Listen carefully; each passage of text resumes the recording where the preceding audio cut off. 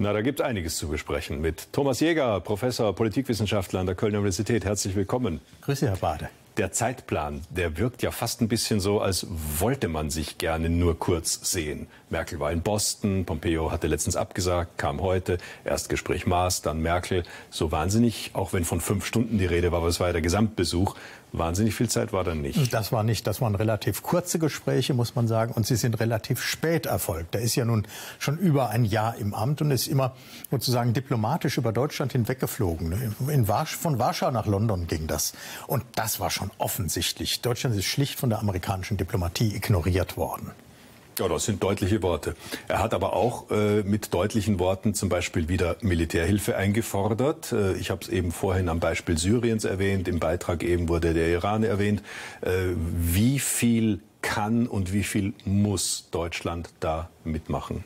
Nun, Pompeo verfolgt die Agenda seines Präsidenten. Anders als sein Vorgänger, der ja noch gesagt hat, der Präsident ist dumm und ich bin derjenige, der Acht geben muss, dass die amerikanische Außenpolitik keinen Unsinn macht, ist Pompeo nur wirklich derjenige, der mit Trump inhaltlich übereinstimmt, der seine Agenda nach außen sagt und der jetzt das Programm in Berlin noch mal deutlich vertreten hat. Und da geht es darum, etwa den Iran politisch zu isolieren, den Druck auf den Iran zu erhöhen, um ihn dazu zu bewegen, eben noch mehr Zugeständnisse zu machen. Die Bundesregierung hatte sich vorgenommen, das zu konterkarieren. Sie wollte die amerikanische Politik des Drucks gegenüber den Iran unterlaufen. Und heute musste der Bundesaußenminister äh, mit einem kleinen technischen Detail sozusagen zugeben, dass daraus einfach nichts wird, sondern es wird diese Politik in den nächsten Wochen und Monaten umgesetzt. Und dann werden wir auch sehen, was in Syrien geschieht, das ja immer noch Kriegsgebiet ist, wo es eine Reihe unterschiedlicher Interessen gibt und wo die Europäer sich, glaube ich, noch überhaupt nicht mit dem Gedanken vertraut gemacht haben,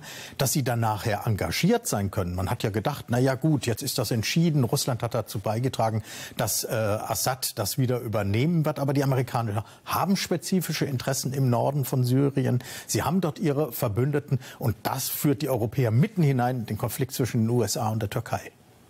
Und die berühmte Zwei-Prozent-Frage, die gibt's auch immer noch. Auch die steht immer noch auf dem Programm. Es ist zwar der Verteidigungshaushalt in Deutschland jetzt erhöht worden, aber die Prognosen sind, dass er wieder sinkt. Die Amerikaner werden hier beinhart bei dabei bleiben, dass das ausgebaut werden muss. Soweit das Militärische. Wenn wir zur Wirtschaft gehen, da haben die USA ja eigentlich zu fast jedem Land dieser Erde eine Art kritischen Dialog. Wie steht es denn gerade jetzt heute an diesem Freitag. Ja, man hat ja nach der Wahl von Donald Trump vermutet, er schaut sich die China aus und wird dann versuchen, die asiatischen Verbündeten und die europäischen Verbündeten auf eine Linie gegen China zu bringen. Und er hat gedacht, na, ich schaffe mir erstmal alle zum Feind. Äh, und hat Handelskonflikte von Südkorea bis zur EU begonnen. Und da geht es jetzt dabei darum, die sozusagen zu nutzen, nun wirklich China in seinem technologischen Drang zur Führerschaft einzuschränken.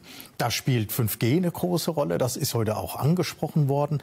Und da hat Pompeo deutlich gesagt, er habe die Risiken verdeutlicht, die ein Engagement des chinesischen Unternehmens Huawei hier äh, mit sich bringt. Ich glaube, da hat er sehr deutlich gesagt, dass die Kooperation Beschränkungen erfahren wird, wenn die Deutschen da nicht auf amerikanische Linie gehen. Mexiko ist auch gerade ganz aktuell im Gespräch. Trump will da gegen Mexiko vorgehen und Zölle erheben.